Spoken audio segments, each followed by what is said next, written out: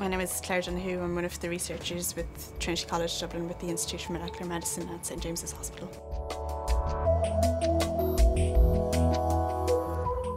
My Irish Cancer Society Research Scholarship is involved in determining the ways in which obesity influences cancer development and progression.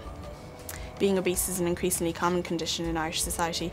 We know that common cancers such as bowel cancer and esophageal cancer are linked with being obese, but we don't know how this occurs or why it occurs.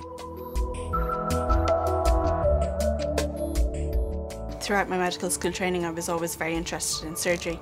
I really enjoyed the practical aspect of surgery in terms of being able to physically take a cancer out of somebody and hopefully lead to their cure in that way. However, there are many unanswered questions. Uh, for example, we don't know why some people who develop cancer and who are treated surgically then go on to develop a recurrence of their cancer. So it's these kind of questions that we can hopefully address with laboratory research.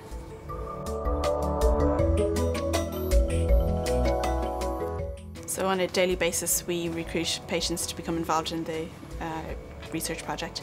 Um, we take patients who are undergoing surgery for cancer of the esophagus and cancer of the bowel or colorectal cancer and we talk to them about the, the research and obtain their consent to get involved.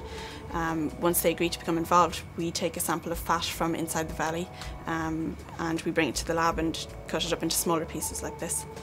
Um, once we do that, we incubate it for a number of hours and we determine the signals that are produced by the fat cells and then grow them with cancer cells and see how the fat influences the cancer.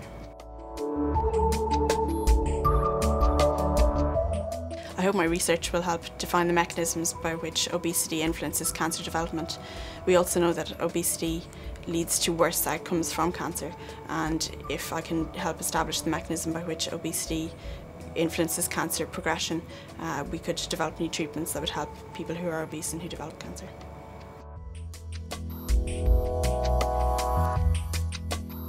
Without my Irish Cancer Society scholarship, there's no way I could take a dedicated period of time away from my daily work and go into the lab and actually do research on a day-to-day -day basis.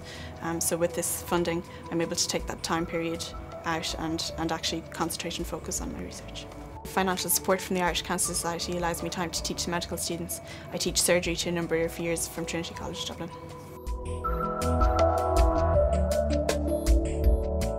The Irish Cancer Society enjoy a very high profile from their various fundraising activities such as the annual Daffodil Day um, but it's not really until people develop cancer that they really become aware of what the Irish Cancer Society do and what their fundraising achieves um, in terms of providing night nurses and support and information to people who are living with cancer and their families.